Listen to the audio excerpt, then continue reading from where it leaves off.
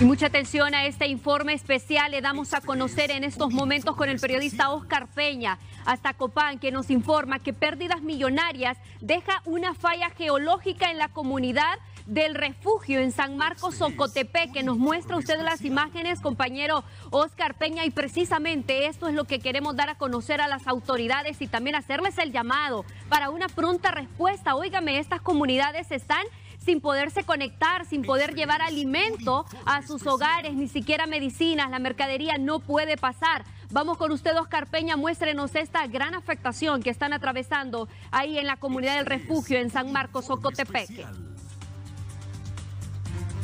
Efectivamente, compañeros en estudio de Hable como habla televisión digital en el refugio San Marcos Jocotepeque, zona inhabitable. Así se ha declarado más que todo por las autoridades competentes, no habitable.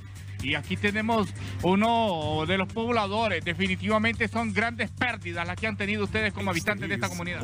Sí, muy buenos días, muchas gracias por la oportunidad, como usted lo menciona, ¿verdad? Aquí ustedes andan en campo viendo las, las pérdidas que han habido acá. Prácticamente son pérdidas millonarias, donde se ha este perdido lo que es todo un, año de lucha, ¿verdad? De, la familia aquí de, de, este, este, de esta comunidad. Entonces estamos nosotros aquí, ¿verdad? Ya evacuando, ya algunos se fueron de aquí de la comunidad, pero hay personas que no se quieren ir, ¿verdad? No es así nomás de fácil poder abandonar las cositas que les ha costado por toda su vida. Amigo, son pérdidas millonarias. Vemos una vivienda aquí lujosa que se ha perdido todo, ya no se puede habitar.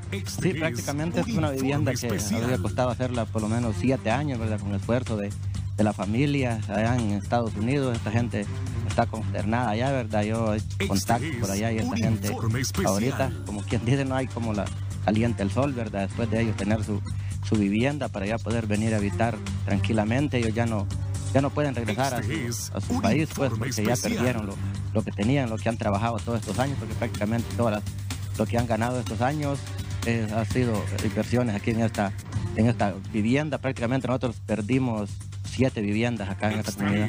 Amigo, este, bueno, ¿el alcalde municipal les ha apoyado aquí o cuál es la respuesta de ellos? Eh, sí, eh, ellos iniciaron a dar lo que son víveres, eh, han estado haciendo actualización de información para poder en qué, ver en qué los apoya, ¿verdad? Identificando algún terreno para ver si hay reubicación, porque sí, a, a, ojo de buen cubero, como dicen. Aquí lo que toca es reubicación, pero lo que esperamos nosotros es una opinión de un experto, un geólogo, para ver qué nos dice, si los vamos a, reubicar de acá, pero así como se ve, toca reubicación prácticamente.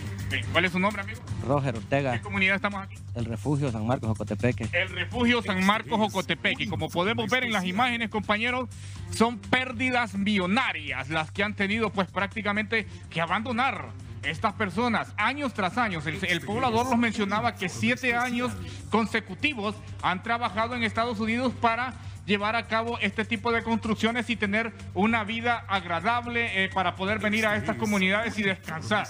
Pero lo han perdido todo. Una comunidad pues prácticamente que se encuentra más que todo en peligro. Una comunidad donde hay pobladores que no quieren abandonar esta comunidad debido a que no quieren dejar sus patrimonios. Pero llamados a las autoridades competentes para que puedan venir a este lugar y levantar una inspección constante porque esta es una zona no habitable como lo hemos visto en las imágenes.